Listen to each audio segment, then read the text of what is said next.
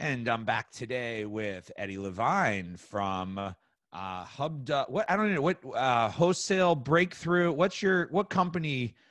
Uh, what company do you do you do you publicly talk about? I don't even know. I mean, don't all entrepreneurs have many? Wholesale breakthrough hub. You can use whatever you want. I don't care. yeah, I know. So Eddie's got many different uh, many many different companies in the e-commerce space and um, we're talking about a re- going back to a resonate presentation you did, um, which, and I don't want to give you a big head because you went to Kansas and nobody likes it, nobody likes Missouri. It's fine. Right. I happen to believe that your resonate presentation is one of the like if I was to rank the gems of like five years of resonate content i put your presentation up there with one of the hidden gems. I think that it's uh it's a presentation that people um it's it's a deep difficult presentation that requires you to think about product shipping inventory logistics um, in a in a totally different more meaningful way. But if you follow that presentation, um, you truly put yourself in a in a in a mindset that will increase your profitability. It's almost and, it's it's almost like for business owners that don't like to do taxes or bookkeeping, like it's a necessity, but they don't like talking or thinking about it. But but even if you're even if you're going to use a third party. Like a company, like have a company like yours do that for them. They should still watch and understand that presentation to at least know how to manage the situation. Sure. The question I have for you is, and, and your presentation is only like a year old, but like, what what of that has changed in the last in the last year um and and you know what what should we be thinking about differently today than than when we than going back and watching the original presentation? Well, I think two things come to mind. One is when the presentation was originally done, you know, that was pre all of the tariffs that went into place and all the changes with all those fees, right? So right. that wasn't at the top of mind in terms of importing and getting things from China. I mean, like people knew that there was certain fees revolving around certain products, but then you had this blanket effect that that really impacted a lot more. So that that's that's challenging. That's something that's changed there because now you've got to make your product selection based on how much your import just duties and taxes are going to cost you and, and customs fees as opposed to just the shipping, right? And for these for several products, it could be 25% or more. That's a big amount of money out of you know just an expense, depending on what your margin is. So that's right, number right. one. Number two is I've always talked about how you have to always be ready and uh, ready and willing to adapt and be ready, ready and willing to, to adapt to change, right? So in my Resonate presentation, I was talking about how um, Uber Freight was taking over the freight world, if they will, if they, if you would, because they were basically making a network of private carriers similar to how they've done on the Uber for cars, right? And they've basically become a broker themselves to where they they've made freight shipping much more economical. Right, and this was like kind of mind blowing for a lot of people there because they had never yeah. even heard this before. Yeah, and, and I explained and I explained in the in the presentation how you could get into Amazon faster with this, and it was just it was a whole long thing. But to go on the change point, right?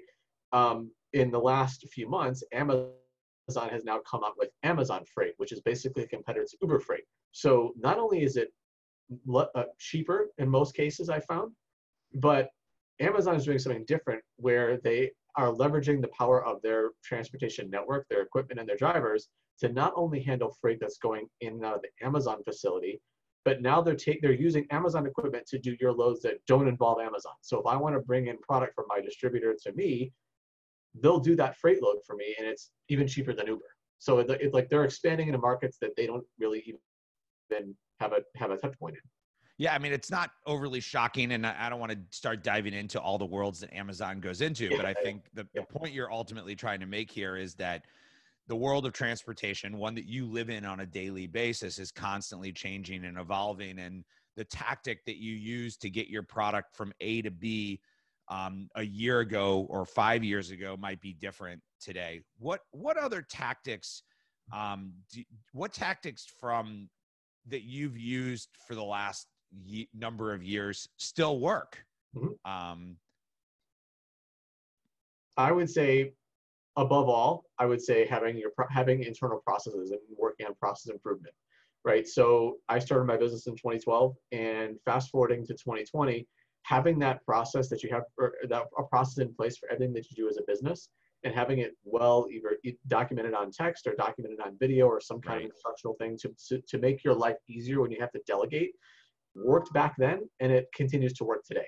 And it's one of the biggest things that I utilize in my business and it's one of the biggest things that's helped me grow because as your business expands and as you continue to evolve year over year, over year you're going to have to delegate and if you have to constantly spend time training people on to do to on how to do your methods it's just going to slow you down yeah, you're you're a really big process oriented guy.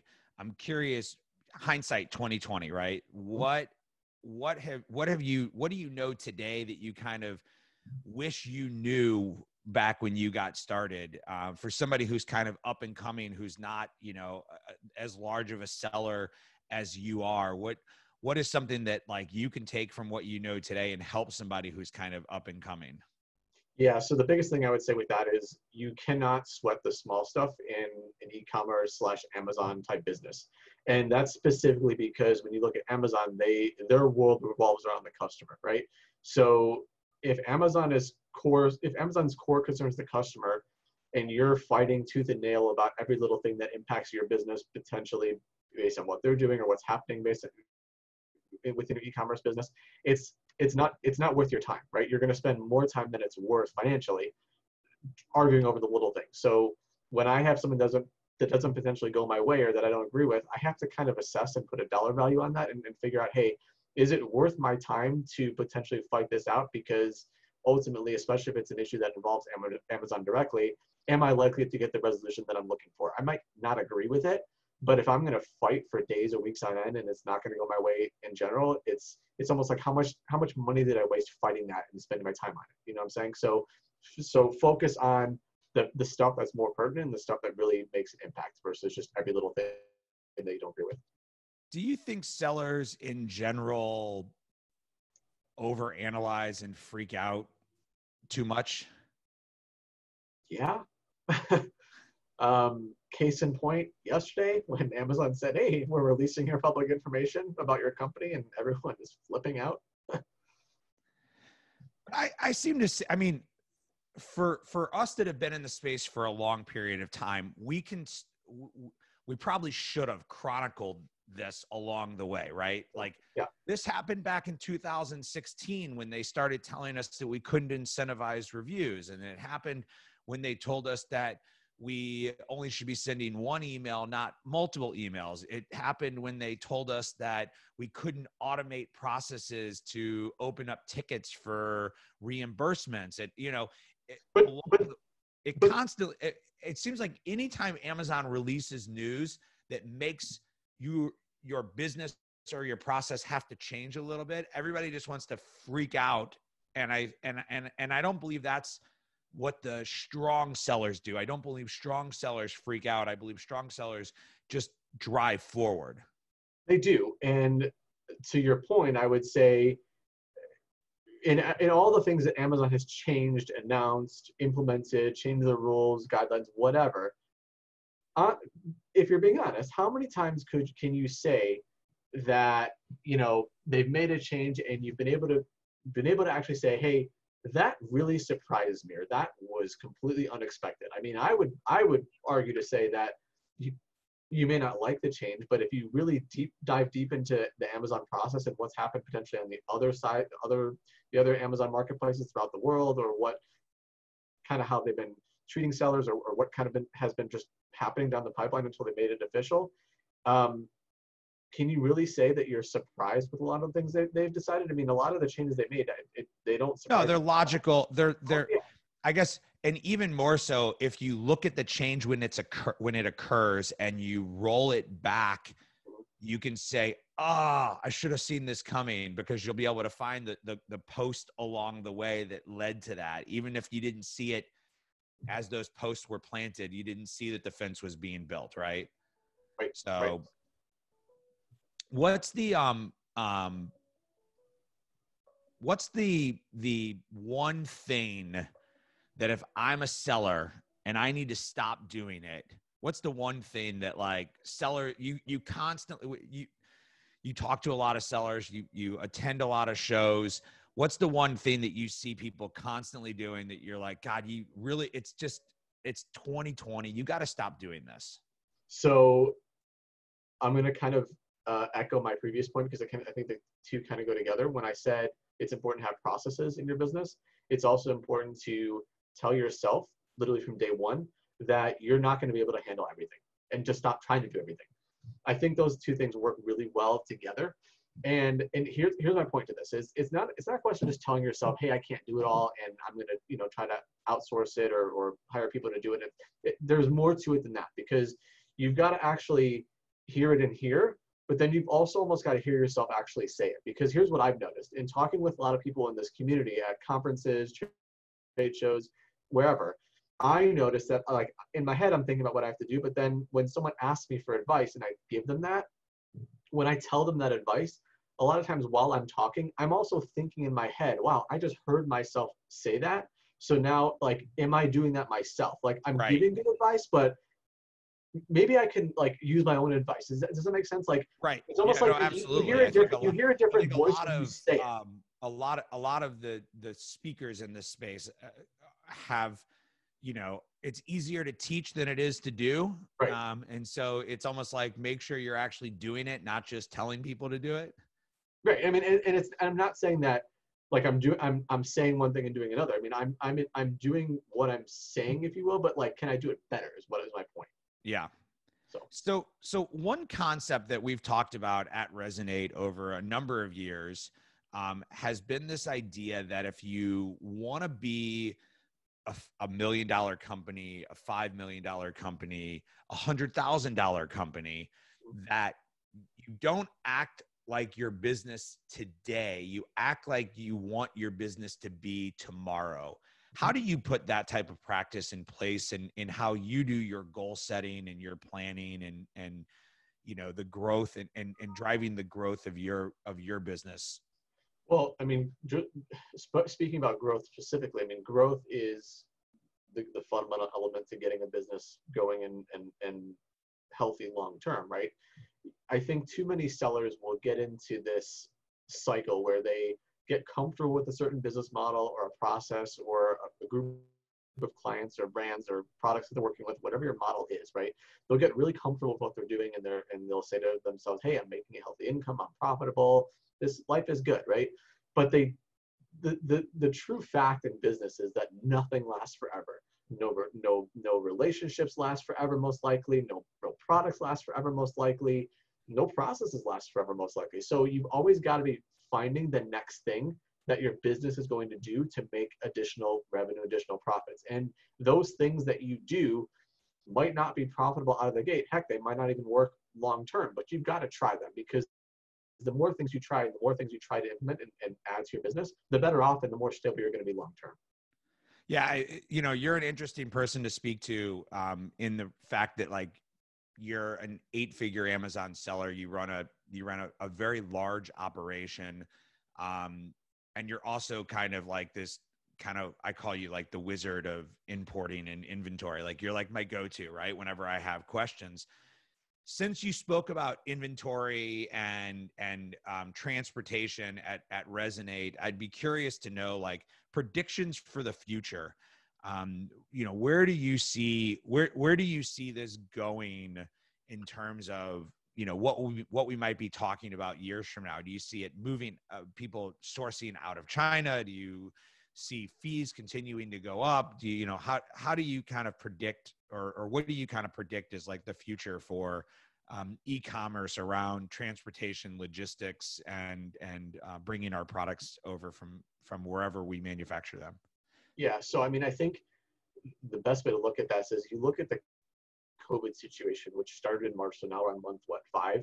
And look how it's impacted a company like amazon it's it's been five months since this whole process started since the majority of the country you know started to go on this lockdown thing which has since been you know for the most part lifted and then now there's these resurgent there's re- resurgent cases and again but look at a company like Amazon and how they have struggled to adapt to the change in e-commerce, to the growth in e-commerce over the last five months. And to this day, they're still getting back to normal. I mean, I haven't had a Prime one day delivery in, in months.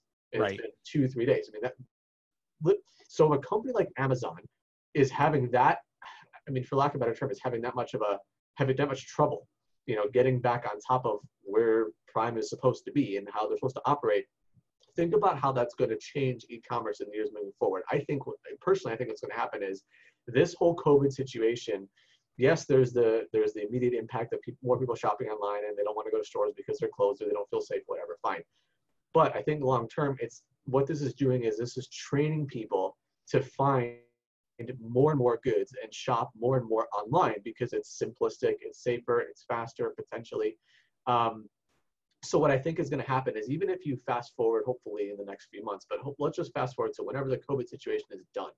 I feel like this entire situation that we've gone through is setting the e-commerce marketplace and the e-commerce business itself up for some just unbelievable long-term success and growth. Um, so it's it's just it's a weird dynamic to say that hey we're gonna you know do so well based on this whole situation that's evolved and has hurt a lot of people, but the truth is that that's the truth. I mean that's what's gonna happen.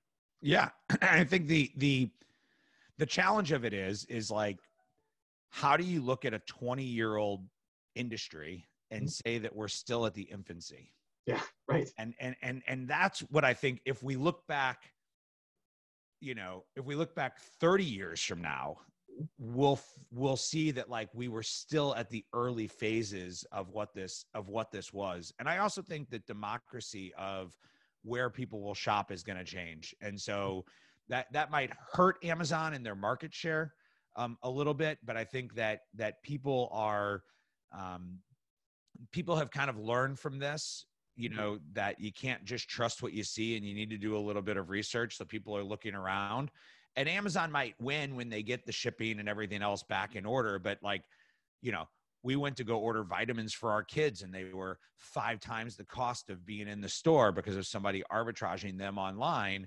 and you know i'm not going to say my wife would have bought them without me but i definitely put a stop to it knowing that like that's ridiculous you know it's an eight dollar bottle i'm not going to pay 35 40 dollars for it Right, right. I mean, but but look at Amazon. Two things like Amazon, as you know, they've they've acquired a lot of companies, and prime example of this is Whole Foods, right? So Amazon right. has stretched into the retail space slash brick and mortar space, and they've made Whole Foods products available online, right? They're going to continue to do things like that. And as far, as far as a retail perspective, I mean, you see a lot of companies filing for bankruptcy right now but they're filing for bankruptcy under a, a reorganization. They're not going away 100%, right. But they're greatly diminishing their footprint, their physical footprint. They're closing stores. They're they're just keeping open the ones that are the most profitable, the ones that make financial sense for them. So what does that do for the customer? Well, the customer instead of being bought, instead of potentially being near uh, three stores, is now only near one, and that one store may not have the product they want. So then, what does right. that do for e-commerce? Right. Yeah, it's definitely. So, um, last question I want to ask you. Uh, a lot of people want to stay up on the hottest, latest ways to do things. How do you keep up on latest trends? Um, are there any, you know, go-to sources, anything like that? So I'll tell you, I'll tell you three things. One, I don't like following specific people for the most part because I like to get my news like in general and like to see everyone's take on everything. That's number one. Number two, um, in the last two years, I have I've not left, but I've unsubscribed to the constant feed of Facebook groups. Um, I just feel like there's so much information that's not relevant slash valuable slash correct, and I don't I don't feel like that's that's helped my business. But what I have done is really placed a large amount of my time focusing on the the feed that comes through my LinkedIn channel, and that's because I think that years over years, LinkedIn has proven itself to be the prime um, source of business related information, market changes, just overall thoughts from thought leaders, if you will, um, about you know what's changing and what's what's relevant in the market. So I spend a lot of my time on that. I mean, when I wake up in the morning, it's it's one of the I don't know five or ten apps that I check and go through for five or ten minutes and just see what's what's what's trending. Right. Right. Um, and just you know throughout the day I'll do that, and, and I'll I'll get push notifications with with things that LinkedIn recommends to me. And it's not that I need the information, but I go into that and I start reading it, and immediately I'm interested, and I feel and, and it, it gets my mind going. Whereas some of the other channels, I haven't felt that before, so I feel like I'm getting a, a, a greater value for my time, if you will. Yeah, and I think it I think it depends on like what you're trying to accomplish, right? So 3 years ago when you were heavy in those Facebook groups, you were looking for um, you were looking for more community. You might not have been looking for actual knowledge, but you were looking for community. And now, over the last three or four years, you've built community. You have kind of your network of people. Um, I think I'm in like three different text chains with you and different people that I would say are part of your community. And I have, you know, other ones like that. And I'm sure you have other ones like that too. Mm-hmm. Uh, and so, you know, Facebook is more of the community. And so if you're seeking more of the who else is out there trying to do what I'm trying to do, Facebook is a great place to be. If you're seeking more of the a uh, little bit more professional, how to grow, how to connect with people, I agree. LinkedIn is is is is a great channel. Um, and I and I ultimately agree with with I'm going to bring this back to the beginning, which is that when you read things, you can't just freak out. You yeah. have to take it, you have to digest it, you have to understand how it impacts your business. Um, and you can't just take somebody else's, I guess, freak out for lack of a better term, and and and make it your own. And I don't, um, I, and I don't think that anyone, no matter what business you're operating in or what model you're practicing, should ever turn their back on community. I think community is always, it's like it's. I credit the community with getting me to where I have where I'm sitting at right now, right? Yep. But at some point, you've got to figure out what part of the community is helping your business and what part is just fun, a fun aspect slash not not giving you the boost you need. I mean, it's it's fine to have a community, it's fine to interact, but at the end of the day, you have a business to run. Like, what what part of it is is truly valuable to you that's going to make you grow? Great. Well, thank you for being on. Again, uh, in the links below, we have links to Eddie's presentation from Past Resonate um, talking about logistics and transportation. And um, we'll probably include a couple links to some other webinars that I've done with Eddie because it's also additional great information uh, that you can pick up and you can learn. Um, Eddie is available and his contact information is listed below. You can reach out to him directly. Uh, he loves to talk e commerce, he loves to talk logistics, he loves to solve problems. Um, and uh, I'm sure he'd be happy um, if you want to reach out. Uh, so his contact information is also below. So thank you, Eddie, and look forward to having you and talking to you again. Thanks for the invite.